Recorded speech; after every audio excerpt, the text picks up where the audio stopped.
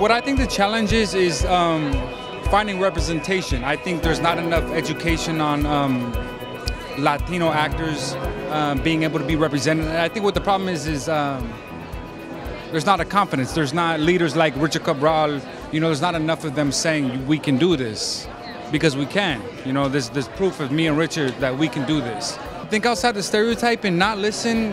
Quite honestly, not give a crap what other people say about you. You know, uh, unfortunately, we have um, a community sometimes and a circle that um, want us to stay down at their level, and that's unfortunate. You know, it's a it's a very few and very um, seldom that we hear that we can do it, and you should do it, and you shouldn't listen to them. You know what I mean?